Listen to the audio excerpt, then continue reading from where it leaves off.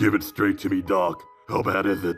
Your TCS is at an advanced stage and incurable. We can only manage the symptoms so you don't too much. But, but, but how much is too much? Like, 15 times a day? Um. Uh, uh, uh, how about 12 Ah. or 8? Ah. Oh, please, I need to